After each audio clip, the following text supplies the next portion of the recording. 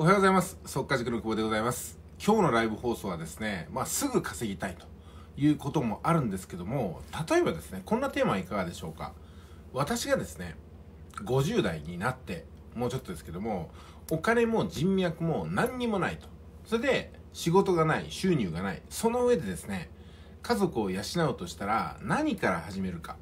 これを今日はね前回もお話ししたんですけども改めてお話ししたいと思います。ではではですねプレゼンテーション資料に切り替えますね。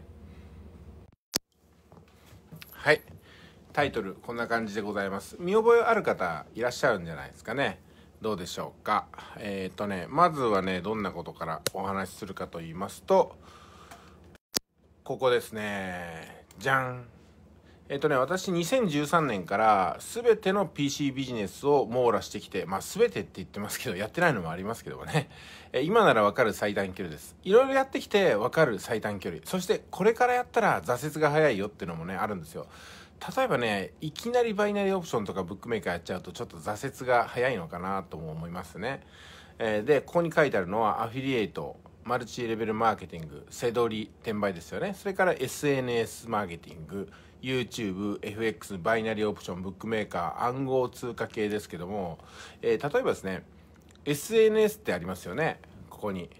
SNS マーケティングって。SNS マーケティングが成功するか否かは、日々の情報発信によってですね、多くの方に興味を持ってもらえてるか、多くのいいねとかコメントとかシェアをいただけてるか、特にシェアをいただけてるかってことですよね。相当強いファンがシェアをしてくれますからそして他の人に知らせたいほど有益な情報はシェアされますから SNS マーケティングを成功させようと思ったらそこで利益を上げようと思ったらまず自分の記事がよくシェアされるっていう環境にたどり着かなくてはなりません。でちょっと上の方に行きます、えっと、MLM って書いてますよね。MLM っていうのは基本的に知り合いとか友達を作るのが上手な人向けです。ですんで、えー、お知り合いがあんまりいなかったりね、えーまあ何ていうんですかね、えー、自分の発信を見てくれる人が少ない状態ではネットワークビジネス MLM はあんまり効果が出ないんじゃないかなと思います、えー、そうなるとですね、えー、右側の FX とかバイナリーオプションとかブックメーカーとか暗号通貨みたいなことになっちゃいますけどもこれいわゆる投資というくくりで見てみますと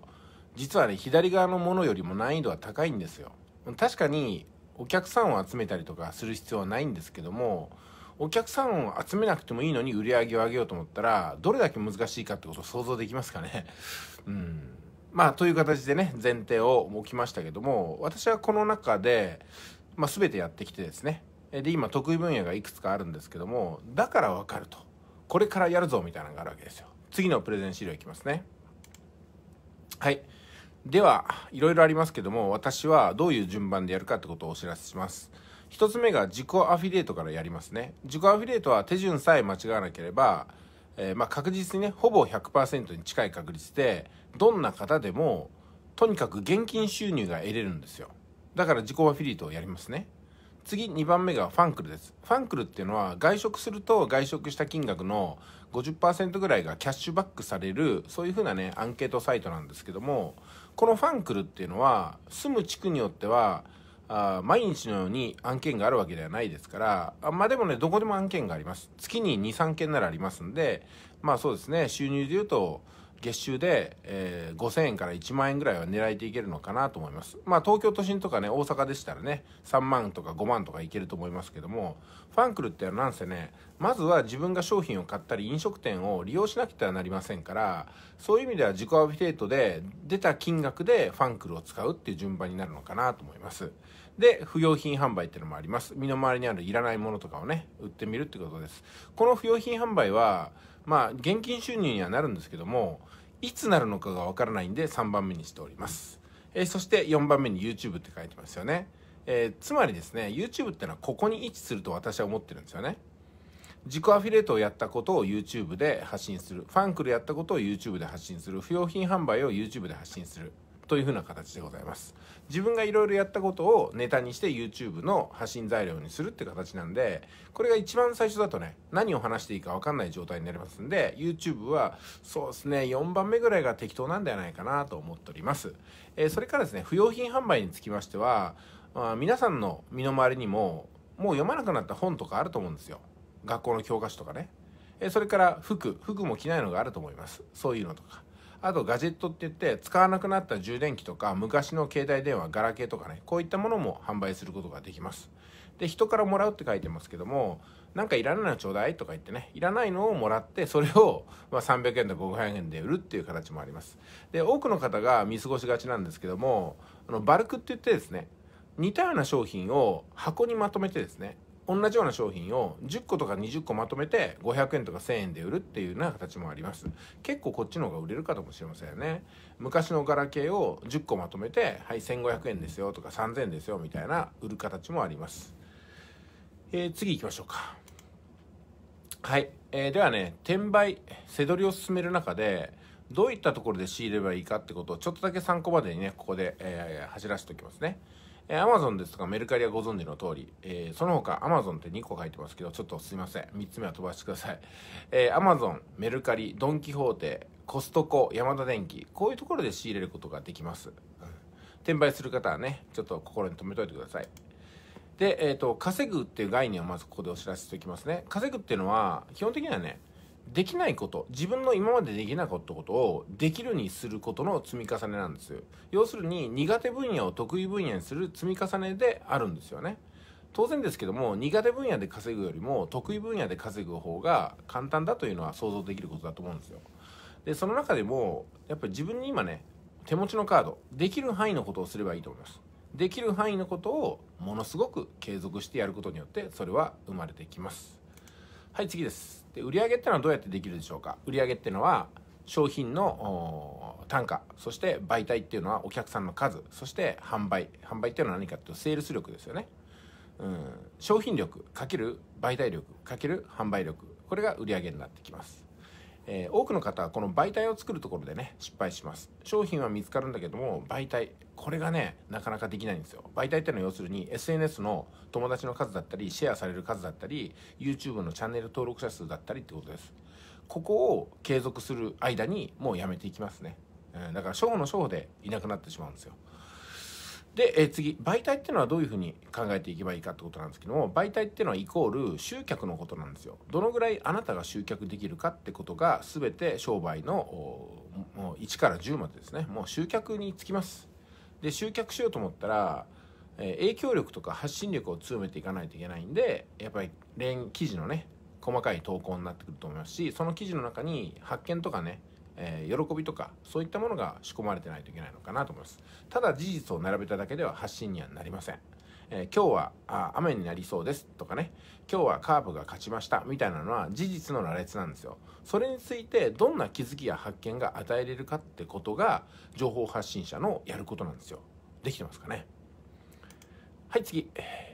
でいよいよなんですけども私が何もなかったら何をやるかってことです。50歳で無職になったら。それはですね田舎の公民館でスマホ講座をしますね。そして自分よりも年齢の高い方にまあ LINE のインストールとかね LINE をどうやって使うべきかとかね写真の撮り方とかっていうのこういうのを教えていきます。そうすると遠くに離れてるお孫さんと写真の交換できますよとかね動画を見せ合いごできますよとか趣味の写真を公民館とか近くのグループに一斉送信できますよみたいな。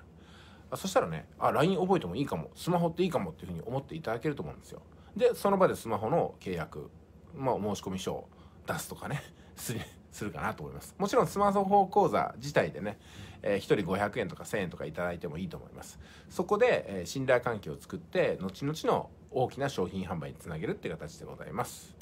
で最後の方あと2枚ですね。えー、公民館でのスマホ無料セミナーなんですけどもそこでやることっていうのはさっきねあの LINE のことを話しましたけども別に Twitter のアカウントの取り方でもいいですし Facebook の運営の仕方でもいいですし YouTube の動画の撮り方でもいいと思います、えー、例えばね皆様の趣味のことを YouTube に残しませんかみたいな形でもいいと思いますしね。お料理の動画を撮って、えー、それを自分でねお料理を覚える時に見ながらやりませんかとかね、うん、そういうのもあると思いますしね。野球のファインプレーとかね草野球のファインプレーを撮るでもいいと思いますし、え、日曜日に行われているグランドゴルフの記録として動画を撮るもいいと思うんですよ。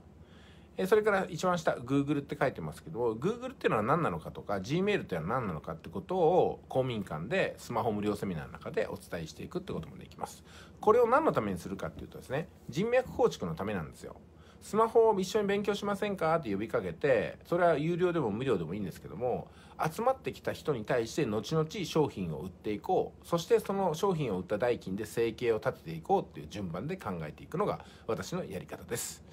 はい、えーと、人脈っていうのはね仕入れ先でもあり販売先であるって書いてますけども本当その通りで例えば公民館でスマホ無料セミナーやるとするじゃないですか。10人の方が来るとしますよね。そしたら10人の方の中でこんなことができますよとかこんないらないものがありますよってものを集めてこういうこと手伝ってほしいんだけどなとかこういった商品とか欲しいんだけどなっていう人につなげてあげて仲介手数料いただくって形になります、えー、これがね案外ね簡単なのに誰もやらないんですよね。で最後です。稼げない人っていうのはどういう特徴を持ってるかっていうとそれはね特技のない人なんですよ、うん、だからね特技があれば稼げます。で特技ってのは誰にも負けない特技じゃなくてもいいです。お金を払ってくれる人お客さんより得意だったらいいんですよ。でここをねよく心に留めておいてください。えー、例えばね、えー、車の運行前点検ってありますよね。それとかタイヤの交換とか、うん、チェーンを巻くとか。例えばこれから冬の時期に入りますけども近所の方にですねチェーン巻き1回500円とかでお知らせしたらどうでしょうか。自分ではチェーンを巻く自信がないと。自分の家族にもチェーンを巻けるような人がいないと。で近所のなんですかね。え息子さんとかにも頼みにくいっていう方は500円を出してちょっとチェーン巻きに来てくんないっていうふうに頼まれるんではないかなと思うんですよ。だからこれで稼げる人の特徴ナンバーワンですよね。1個目ですよね。だからお客さんよりも特技があればいいんですよ。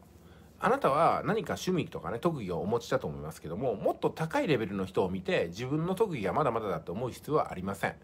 そういうことが何もできない人に対して私たちはセールスをしていくんですよ。そうですよね、うん、やっぱりなんでビジネスが成り立つかっていうと自分ではできないけどもお金を払ってでもやってほしいことがあるからなんですよ。ね、お医者さんに行く時って診察って自分ではできないからお医者さん行くんですよね。子供が熱を出したどうすればいいか分かんないからとりあえず病院に持っていくんですよね。でも自分で対処できたら家庭の医学の心得があったら病院に頼らずにその場で対処策を練るんじゃないかなと思うんですよ。はい。そしてまとめになりますけどもあなたは毎日誰かの問題解決してますか？ってことです。毎日誰かの問題解決をしている人っていうのはそれによって自分を、ね、養っていくことができますんでえー、どこかに勤めに行く必要がなくなるよっていうことにもなってきます。